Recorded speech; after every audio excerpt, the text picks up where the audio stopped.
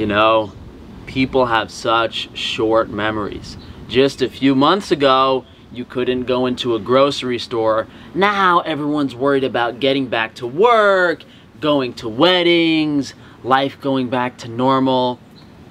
Everyone needs to get a glimpse of reality and realize what's in store for the future. What kind of crazy crap are they going to force the sheeple into in what appears to be a live simulation? It really does feel like we're in the Matrix. Imagine this.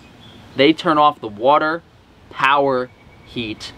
Government swoops in to save us with camps set up, save the people with basic needs, but they say you have to get injected to come in the camp. Yeah, not out of the realm of possibilities with what's going on right now. And by no means am I trying to be too pessimistic, but guys, things are just getting crazier and crazier and crazier. And it seems like they're trying to give us a glimpse of things going back to normal, but I wouldn't believe that for a second. And, and by no means am I a survival expert here, uh, but I'm going to suggest some things that I would stock up on under the current conditions. And food is probably the first thing that comes to people's minds, and it's actually not that important as the average person can probably go two to three months without food easily based on their fat stores, many even longer than that. You know, I might do a video, we should get fat, you know, just in case something happens. I did make a video around a month ago about the 10 most nutritious survival pantry foods that covers the calorically dense, high vitamin and mineral options at your local grocery store. The importance of pantry foods, things that are non-perishable, as in this hypothetical scenario, the power goes out, you can't refrigerate, freeze, or cook food. So you can stock up on those foods, you know, sweetened condensed milk, chocolate bars, dried fruit are some of my favorite options. And we just came out with the Warrior Bar on Frankie's Free Range Meat for that specific reason. And we'll probably have a few more flavors for you guys in the near future.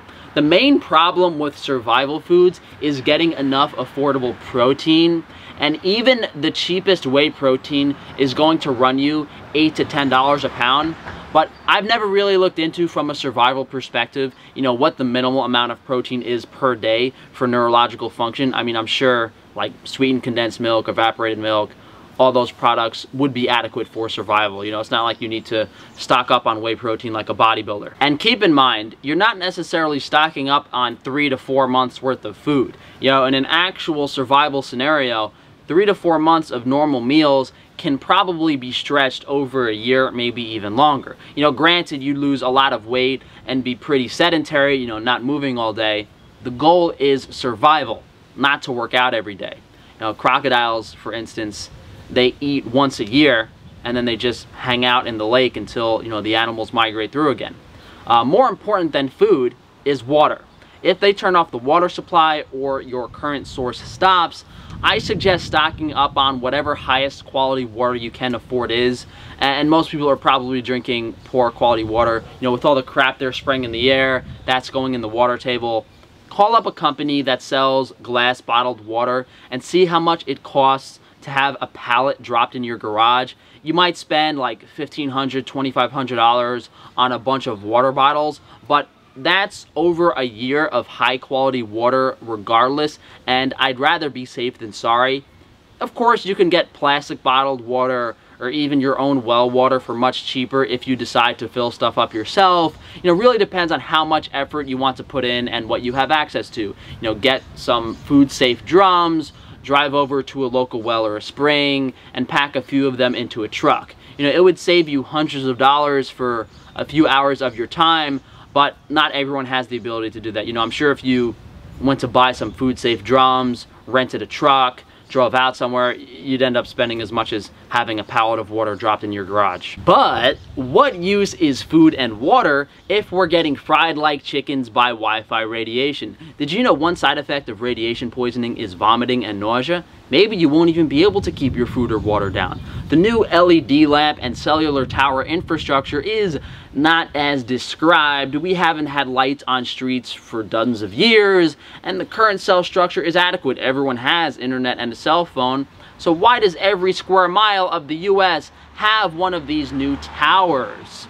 Because it's weaponry. It is military weaponry to control and surveil the population. They can harm you, your children, your animals, beef cattle on a farm at any point in time they want. The sheeple are too foolish to realize what's happening and the influencers in power on social media are all in on it. The way to protect yourself is to go to Home Depot and buy metal, or not Home Depot, go somewhere, hardware store, scrapyard, get some metal, buy aluminum mesh sheeting for window screens, buy whatever cheap metal sheets you have, lead paint if you can find it. I'm going to try to get some anti-radiation fabric for you guys that's affordable. If they turn these towers on, you're going to have to encase yourself in metal or get into a cellar or some type of structure built with cement or cinder blocks. You know, crawl space garage might be suitable for some people. So now you're stuck in your basement drinking Pellegrino and eating chocolate. Not that Pellegrino is a good source of water, it actually has fluoride in it. That's just my Italian example. What else would you possibly need? Heat, shelter, lights, perhaps self-defense, something to do. If you have a fireplace, you know, I guess wood is a reasonable option. And for survival, I do think they sell some type of heating elements that you can buy a bunch of.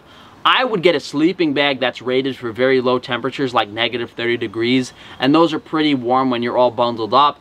Of course, you need to see, so you know, get a bunch of flashlights, batteries, maybe some candles, and hey, maybe we could even do a lantern with some beef tallow. That's up to you guys.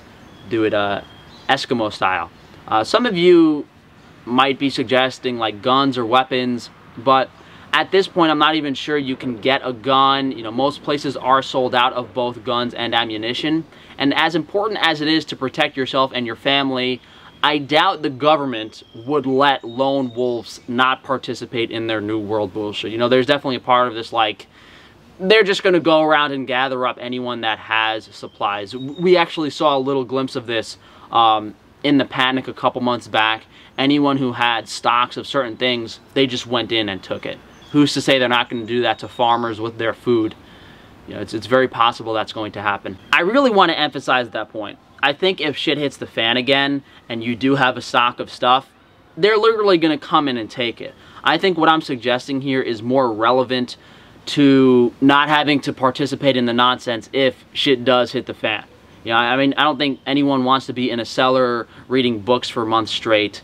Uh, but, you know, hypothetically, the same thing happens. You don't have to go out, worry about getting food, worry about getting water, worry about getting supplies. Uh, and, you know, everything just seems to be getting crazier and crazier and crazier. Who knows when they're going to hit the full switch? You know, regardless of whether you use this stuff now or a year or two or three or five or ten from now, it's going to happen they're going to do it again and they're going to do it on a large scale and they're going to create a lot of chaos. We just don't know exactly when.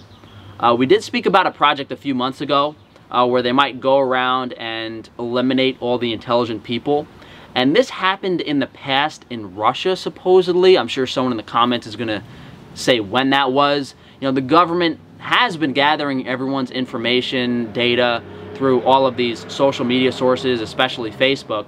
So they have a list of millions of people who oppose mainstream ideas. You know, if you follow any opposition channels, and there are agents that specifically do this, they come onto the scene and they tell some truth, so you say their name, so you talk about them on social media, and then when you know the government sees you mention that person's name, they put you down on a list. And it, it would be way too easy for them to stage a blackout and gather up all of these people uh, if you want to learn more about that, I'm not going to sit here and explain it for five minutes. I'll just link the video at the end here. You can watch it. Uh, but it definitely seems like you know things are really turning for the worse. Every, everyone just has too much inherent human selfishness and uh, you know what they want.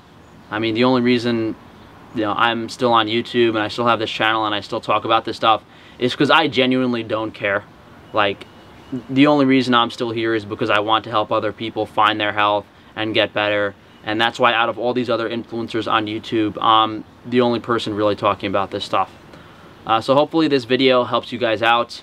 Um, I personally have some aluminum. I'm going to order some more water.